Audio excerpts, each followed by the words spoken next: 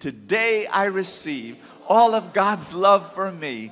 Today I open myself to the unbounded, limitless, overflowing abundance of God's universe. Today I open myself to God's blessings, healing, and miracles. Today I open myself to God's word. So I become more like Jesus every day.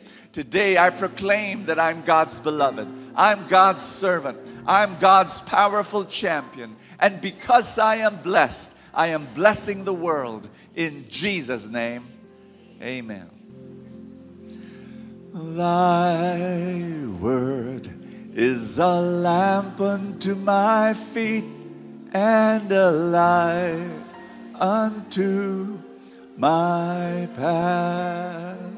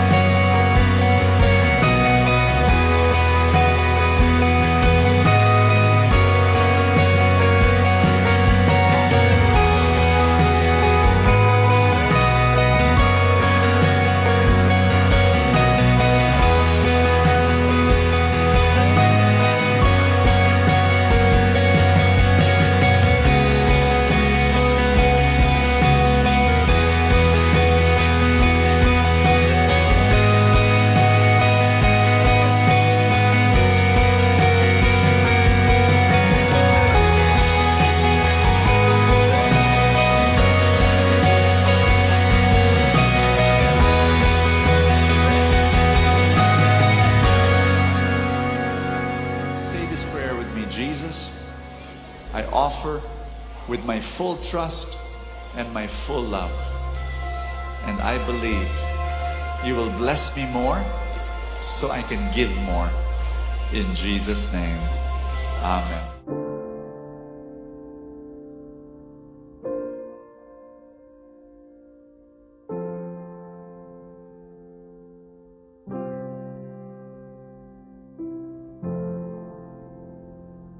Just want to welcome you to talk number seven of the series, Exodus, yes. And I want to preach the message. Are you ready? Come up to the mountain. Can you tell somebody beside you, come up to the mountain? That's right. Before we explore talk seven, I want to share a little bit more personally with you. Many moons ago, my wife and I were still, you know, a few years into our married life. It was a Sunday night. I was driving home and my wife was in the back seat with our two energizer bunnies all drained out and they were sleeping on her lap. And it was nine in the evening on a Sunday and we were bone tired because the whole day we, we were serving. We went to mass. I led the prayer meeting. I preached in the servants gathering. And then in the dinner, there was this fellowship with other community members. And then I heard a voice from the back seat. It was my wife. She asked a question. And the question was this. Bo, sometimes I just wish our life was a little bit normal. Like we didn't have all these responsibilities for other people. I didn't see that question coming. That question pinched my heart because it was true. We were not living a normal life. I mean, what is normal? Normal is working from Monday to Friday. And then you could be able to rest on a Saturday, like have a picnic in the park. And then on Sunday, stroll in the mall. But because of ministry and also because of my personal businesses, like I set up some businesses, weekends were the busiest week- days of the week. It's like Saturday retreat, seminar, etc.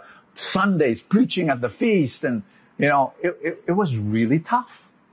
And, and so now I, I remember it's like, okay, half of the time I'll be able to bring them with me. Half of the time, you know, they, they, they would be left behind. About eight or nine times of the year, I would travel. And again, it's half half. Half the time they, they're left behind. Half the time I bring them along with me. And because the kids were tiny, it would be always pandemonium. Can you imagine me pushing a cart with eight luggages, giant like luggages, two pulling bags, and then my wife carrying a baby in her arms, and then our little boy running around and asking, are we there yet? Okay. So you get the picture. Now, but here's, here's something I, I need you to realize. Even if my schedules was crazy, from Monday to Friday, I would prioritize family time, like dates with my wife, dates with my boys, family dinners, family trips. It, it was there. It was there. Okay. But still, it's, it's really a question. Her question is very valid. She, she was basically asking, what, you know, can we focus on our family first? You know, we're, we're responsible for this, that person, that, that group, that, you know, and it, it was there. And I, so I asked her this question. I said, do you want me to stop serving? And I remember her answer. She said, don't mind me, Bo. This is just muy muy. And she says, you know, after a day, I'll be okay. I want you to know I have no hope of translating muy muy in English, okay? but the general idea is that she was just verbalizing her emotions. And what I have learned is that when she is in that state, I will not try to solve muy muy. Instead, I will wait for her to arrive home and then I listen to her and I hug her. That's it. And she said something else after that. She said, you know, Bo, before I married you, you were already like this, serving God. This is who you are. And I knew this. And I knew what I was getting into.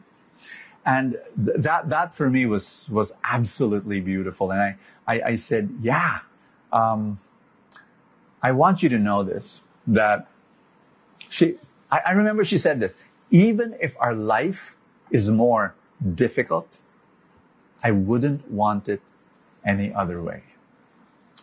We, our family, we've embraced this more difficult, stressful life intentionally in one sense, we deliberately climbed up the mountain. And after almost 25 years of married life, I look back at our abnormal life with profound gratitude. My greatest rewards? Both of my sons love to serve the Lord. I have an amazing marriage with my wife because the best relationship are not two people looking at each other with googly eyes, but two people facing one direction, walking towards one mission. And plus, I have the greatest lifelong friends um, because I'm serving the Lord in community. If given a chance to relive my life, I would still embrace our more difficult life all over again. With that sharing, I want you to listen to this powerful message, talk number seven of our Exodus series. God bless you.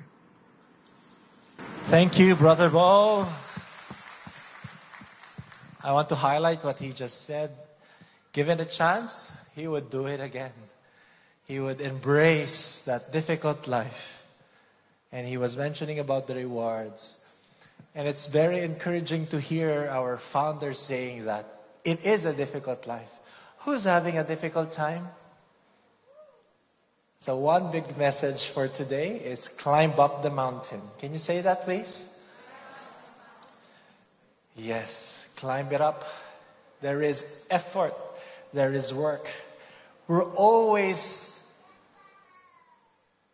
we're always just looking what it feels what it looks like on top of the mountain. majestic view, a fantastic perspective. But there's work there, climbing up the mountain. And you need to make that decision today. It is a little bit intimidating. I'm not fit enough. I'm not good enough. It's hard. But Bo summed it up. If I'll do it again, I'll climb up the mountain. Today, we'll unpack one of the most momentous events in biblical history, and that is God making covenant with Israel. This is the time that the covenant is taking place on top of the mountain called Mount Sinai. Everybody say Mount Sinai. Do you remember just a few weeks ago, we were able to preach that, you know, Mount Sinai is not new to us. It's the same mountain where Moses encountered God for the first time. Remember that what was burning at that time? The burning bush, correct. That is where God revealed himself. Today, we're going to see something burning again. And I'll give you a suspense about it, but we'll go through it. There's something on that mountain. It's a mountain of God. And we have three messages that we will unpack for you today. Are you ready? I'm not sure. Are you ready? Message number one God rescued you for a twofold purpose. Say that with me. God rescued you for a twofold purpose. God rescued Israel, the people of Israel, the people of God, for a purpose. And yes, there was pain going through it. Exodus says, read it with me if you can see it on the screen. On the first day of the third month after the Israelites left Egypt, on that very day, they came to the desert of Sinai. After they set out from Rephidim, they entered the desert of Sinai. And Israel camped there in the desert in front of the mountain. Where were they? They were in front of the mountain. And I could imagine that they, the Israelites must have been in a, the experience was they are in, they are in the mountain, on front of the mountain, where they heard that their leader Moses met God. That's where God met Moses and Moses met God. And it must be a very special time. The, the, the stories that I hear, this is the place. Can you, are you with me? Can you feel that with me? And, and when God tells Moses that he wanted a covenant with his people, covenant, everybody say covenant. Covenant is more than a contract. It's not a contractual thing. Covenant is so much more. And you can think of it as a marriage between God and his people. Everybody say covenant. And here it is. Read it on the screen with me, please, together. You yourselves have seen what I did to Egypt and how I carried you on eagle's wings and brought you to myself. Now, if you obey me fully and keep my covenant, then out of all nations you will be my treasured possession. Although the whole earth is mine, you will be for me a kingdom of priests and a holy nation. Everybody say, kingdom of priests. It's a, it's, what a beautiful covenant, what a beautiful invitation of a relationship, not just a contract, but a covenant. You know, you see, God didn't rescue His people so that His people will just live ordinary lives. There is a purpose for it. God rescued them for a twofold purpose, and here they are to be in a relationship with Him, and secondly, be a kingdom full of God's images. Let me say that again. We are called by God to live extraordinary lives, not just ordinary, not just, you know, we, God did not rescue us and is rescuing us just to live a mundane, hmm, nothing. God has two things. Number one, be in a relationship with Him and kingdom full of God's images. And, you know, to be his representatives on earth, priests, kingdom of priests. You know, a priest is, especially in ancient culture, a priest is this, that person that mediates between God and man. And imagine, God is not just calling Moses as the priest, God is calling the whole nation as priests to mediate God and man. That is a beautiful purpose. Everybody say purpose. Going back to the previous book in Genesis, when God created mankind, He already made this purpose very clear. We are to dwell with God in the garden. And secondly, we are His co rulers, stewardship of His creation. Hyperlink, it's the same thing. But we all know what happens. Sadly, man failed. We all fail. Raise your hand if you have failed. Raise your hand if you have sinned. But God didn't give up on us.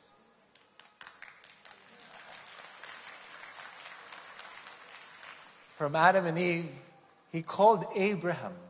Abraham and his family to be his representatives. Do you remember those feast talks that we just had? And that family of Abraham grew into a nation. But it won't be easy. The Israelites have been slaves for 430 years. They didn't know how to rule. They didn't know how to represent God. And what God does is His loving way to teach us. And sometimes teaching is best through testing. So here it is. The first part of our purpose is to enjoy God twofold purpose. The first part is to really in a relationship with Him and to enjoy Him. God wanted to make a covenant, a special relationship between Him and His people. But the foundation of any relationship is always based on contracts. No. The foundation of any relationship is based on trust. You will be in a relationship, a good, long standing, loving relationship with trust. Without trust, there is no relationship. And these people, as we have seen again and again, God called us, God rescued us, but there are times that we do not trust God. Thus, God tested the nation through the wilderness, out of Egypt through the wilderness. And now God is teaching us again, teaching the nation again, giving them another big test. And he asked everybody to go up the mountain. He gives instructions to Moses. So here it is from Exodus 19. When the trumpet sounds a long blast, they shall come up the mountain. Everybody say, come up the mountain. But sadly, or slight problem that we see here, let's read further. On the morning of the third day, thunder roared and lightning flashed and a dense cloud came down on the mountain. Ka? There was a long, loud blast from a ram's horn, horn, and all the people trembled. Instead of celebrating, they trembled. Moses led them out of the camp to meet with God and they stood at the foot of the mountain. So, did they climb the mountain? No, they trembled. they did not even try. They remained at the foot of the mountain. They were trembling. Why? It, here's what happened. Let's read further. All of Mount Sinai was covered with smoke. I want you to imagine this all of Mount Sinai was covered with smoke because the Lord had descended on it in the form of fire. There was fire. The mountain is on fire. The mountain is burning, not just a burning bush, but a burning mountain. The smoke billowed in the sky like smoke from a brick kiln, and the whole mountain shook violently. The whole mountain was on fire. And this time, God was not on a burning bush, He was on a burning mountain. That's scary. But that's actually the test. God wants you to grow closer to Him. It was holy ground when Moses approached the burning bush. It was just a bush. So it was Moses and God. But here, the invitation is it's a whole mountain. God has expanded His holy ground for all of us to come in. But we got terrified.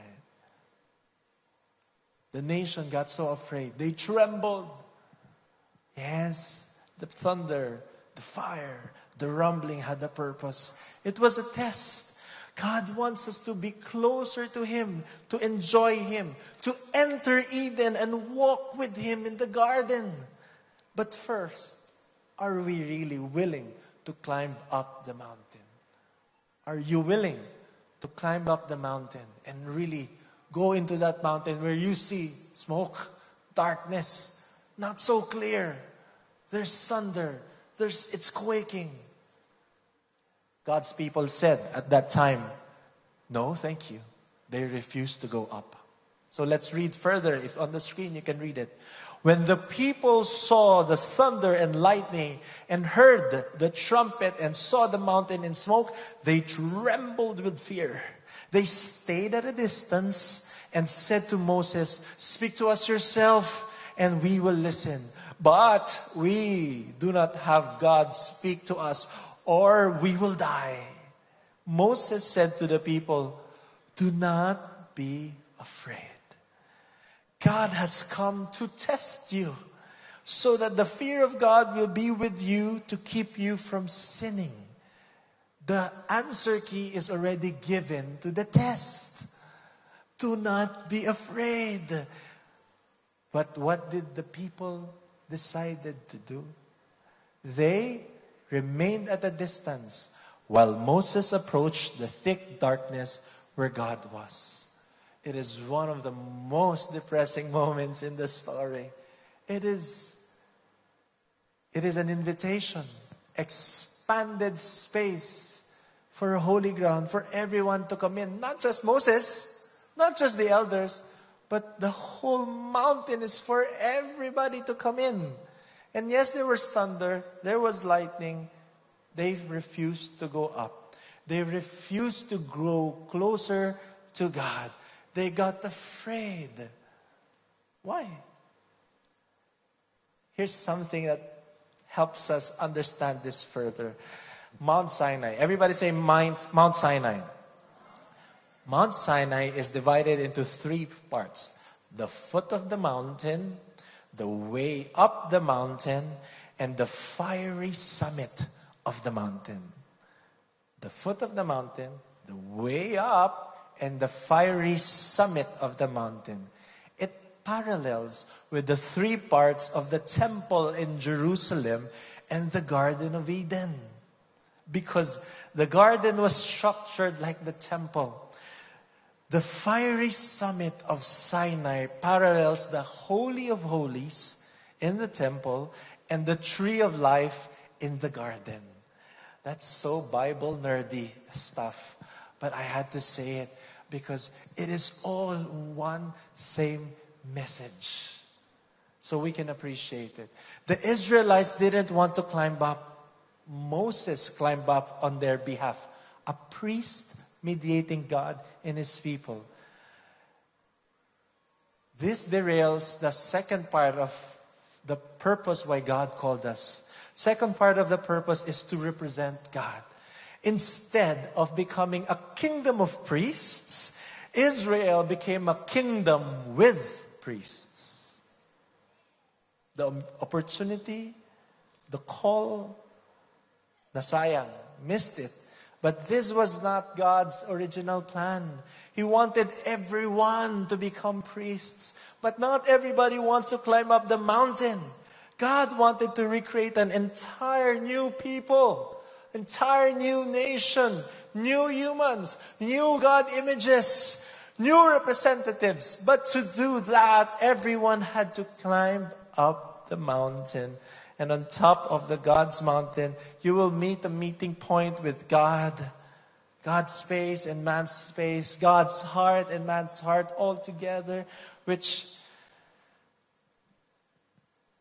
here's the second message of this talk God's fire will transform you. Can you say that, please? God's fire will transform you. Human behavior. I totally would understand why the Israelites did not go up the mountain.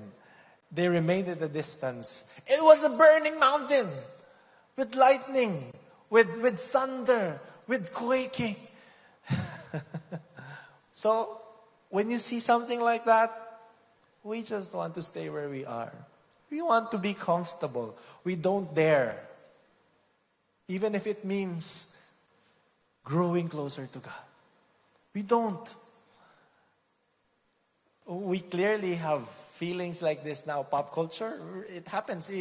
Even in the feast, the, the imagery is so, it's so clear. I cannot count. When I invite people to the feast, and I always, I, there was always one who would always say, out of a hundred, there's a good majority of people would say, no, no, I cannot go to your religious event. No, it's a, it's a, a community. No, no, no, no. Masusunog ako dyan. I'm gonna get burned there. Ako, they feel that they are too sinful and their image of God, they think that God will strike them dead. They think that, that, that God will, you know, judge them and, and make them really feel so small. But that is a lie. That is the lie of the devil. And that's the truth is God's fire does not burn you. It burns what is destroying you.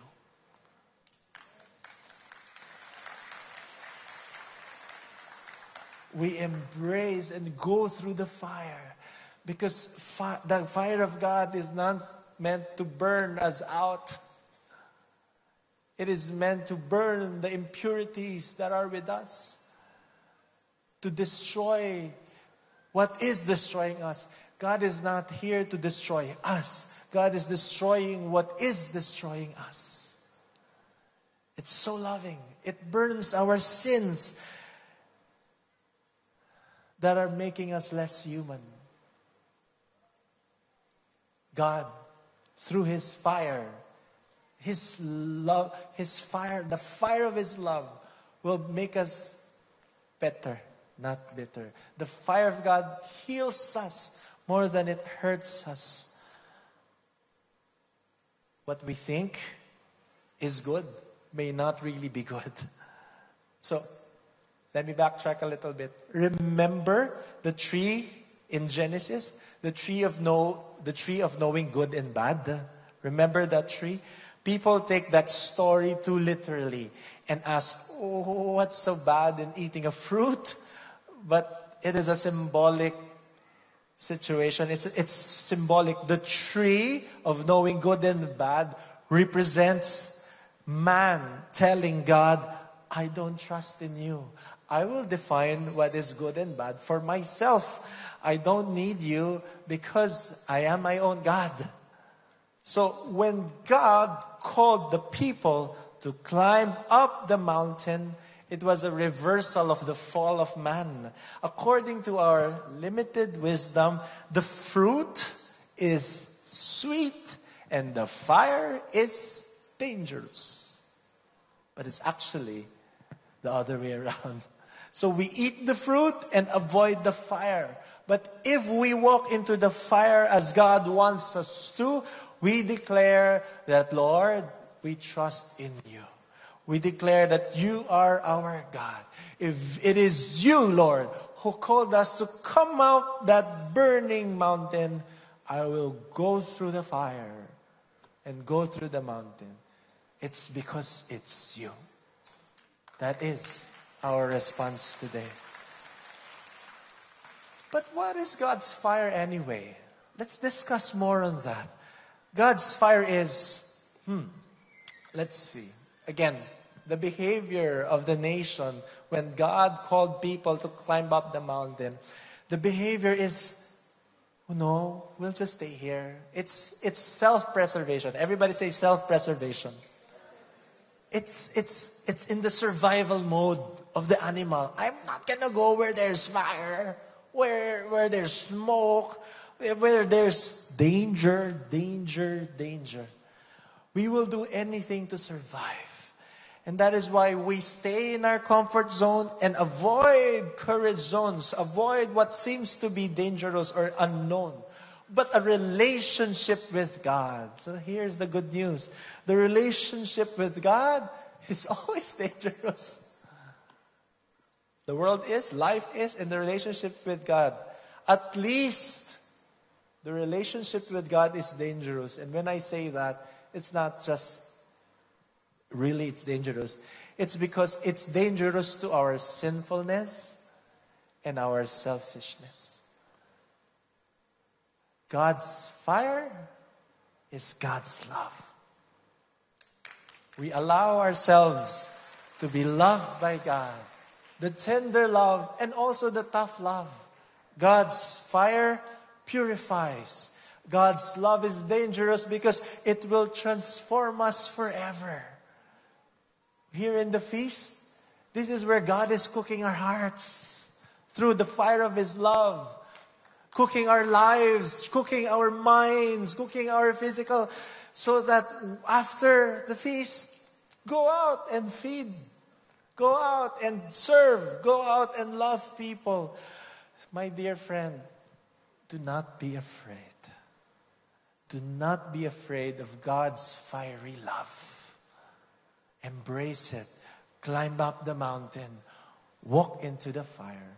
Hold the hand of the persons around you. Kung di mo kakilala, shoulder man lang. Can you just remind that person, my friend, God's invitation, walk into the fire.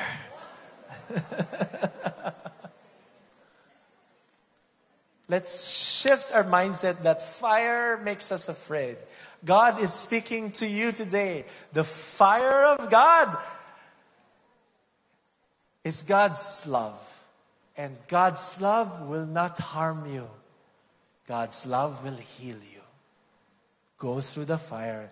God spoke through Isaiah, coming from another part of the Bible, recalling this scene. I want you to remember the Red Sea, the burning mountain that we, we are in, and we're going to read this together and embrace this message, this call of God, this reassuring word of God.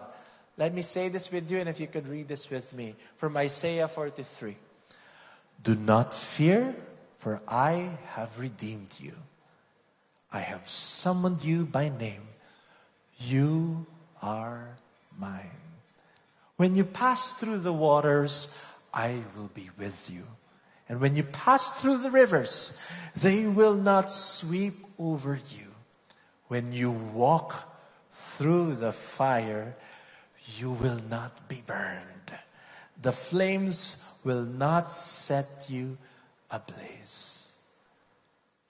My friend, brother, sister, will you still remain in front of the mountain? Will you remain in your comfort zone?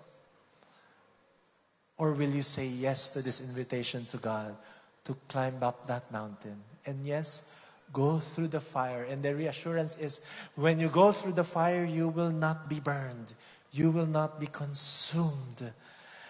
His love, it is an invitation to His love. It is an, it's a loving invitation. Will we say yes? It's reassuring. Please do not fear. I have called you by name. You are mine now. Kay Lord ka na. Hindi ka na kay devil. My fire will not burn you. It will bless you. Who's ready for blessing? Walk through the fire. Climb up the mountain. And I'm going to pause a little bit here and say, our church, our feast gatherings, we're climbing up the mountain. We're going out of our comfort zone here. We're going to climb up to that unknown of going to that space. It's newly renovated, more parking, more comfortable. But I can sense people are, um, yeah, Not sure. 8 a.m., too early. 11 a.m., lunchtime. 2 p.m., ah, siesta time. It is God's loving invitation. God's invitation is not for us to have an easy life. We embrace it, even the hardships. And it's part of God's love. And their loving reminder is even through the fire, I am with you. Do not be afraid. The fires, the trials, the tribulations, the hurts, the, the, the limitations that you see, it will not be nothing.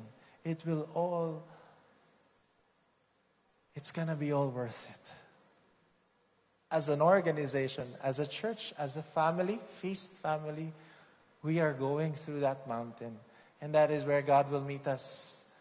And God, God has already been with us actually from the very start. But this invitation, my dear friends, I hope we say yes. Because imagine, imagine if we miss, we miss it. What's the alternative? We could be feasting with God. We could be healing ourselves with Him. We could be experiencing joy like never before. We could be living in so much more abundance beyond our imaginings if we walk through the fire, climb up that mountain. Here is message number three. Are you with me? God's fire will make you His light. Let's say that again. God's fire will make you His light. Exodus gives us an exciting glimpse of how the fire of God transforms. On the seventh time, seven, it's a, on a, for Bible nerds, that's very important. On the seventh time, Moses went up Mount Sinai to meet God. And Exodus says that, here it is, he wasn't aware that his face had become radiant because he had spoken to the Lord. Moses got a facial, more than a facial, when he met the Lord. He became a picture of a transformed, transfigured person. Imagine if every Israel, Israelite, I want you to use that imagination. What if, imagine if every Israelite trusted God and they climbed up the fiery mountain. Every man, woman, child would have been glowing like Moses. Imagine what it would have been like. And you and I, my friends, the call is still true until today. God calls us to climb up that mountain, experience the fire of His love, be transformed like never before, and God calls you to shine. Touch the person beside you. Look at the face of that person. Study the face of that person. And just say to that person, God wants you to shine. shine, shine, sunshine through my window. Iba na. Hindi ko makanta. Centuries later, Jesus said, Let your light, let your light shine before men. It still is true. Shine. That is His purpose for us. But as we go through the story, it's only Moses who was shining. And when we go through further in the Bible, you will see that even Moses, even the best of us, even a priest of God, a holy man of God, who was able to climb up the mountain, he eventually failed. When we explore the next book, the, the book of Numbers, we will read about the failed life of Moses. So, what does God do?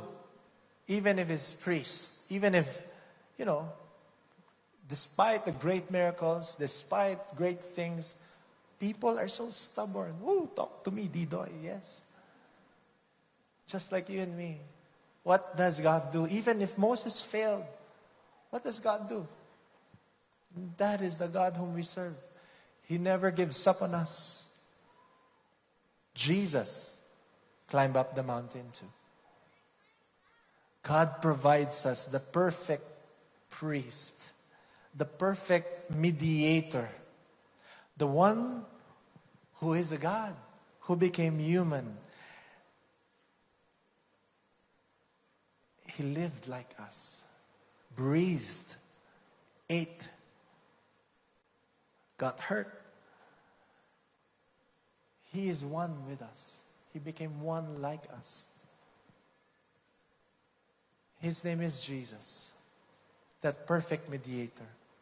And on behalf of every human, past, present, and future, he climbed up the mountain of Calvary.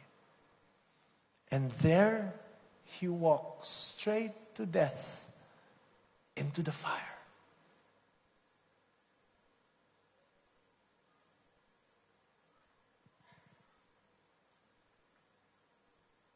But on the third day, he resurrected into new life.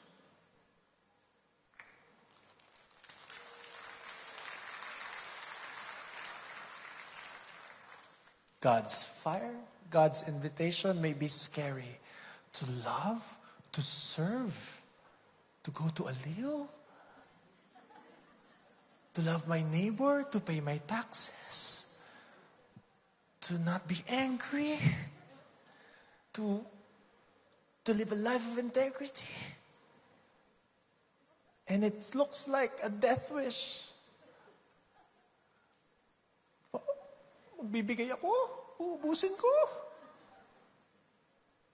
But through the experience and the example of Jesus, going through the fire, especially the fire of God, it doesn't end with death. The same resurrection power that conquered the grave is with you and me today. Yesterday, today, and forever. Jesus went beyond his own fears and went beyond his natural desire for self preservation. For our sake, Jesus embraced the difficult life. I'm going to give that invitation to you now.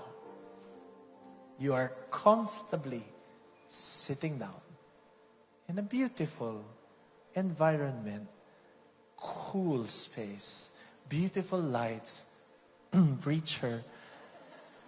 And even if you are watching online, internet is steady, the weather's fine. You're already thinking, what am I going to eat after? Where am I going to get my coffee? My amigas and amigos, we're going to meet afterwards. But right in this moment, I want you to focus here with me. And on behalf of God, not saying I'm a priest, but we are called to be God's priests, a holy nation. The invitation is Are you willing to climb up the mountain? You're not forced to live a hard life, but life is already hard. Might as well embrace it, right? You can have a hard life without God or have a hard life with God. Your choice.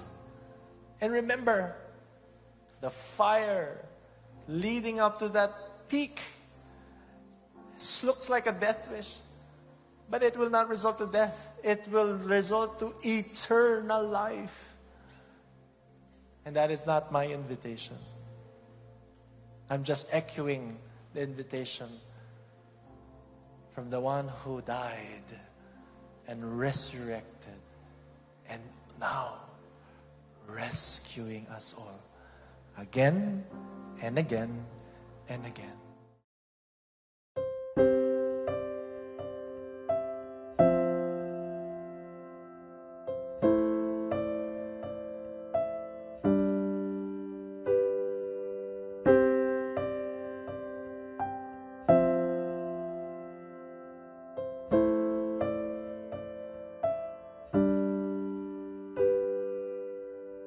It is so beautiful to be in the presence of God. And can we pray right now in the name of the Father and of the Son and of the Holy Spirit? I want you just to lift up to Him all your needs. Whatever you're going through, He knows what you're going through. He knows where you're coming from. He knows the burdens of your heart. Just, just bring it up to God and say, Lord, I surrender everything that all hurt and all pain and all worries and all fear. Lift them all up to you, Lord. I surrender them to you. You are my King and you are the center of my life. And I trust you and I know that you are blessing me right now. I receive your love. I receive your joy. I receive your peace. I receive your healing.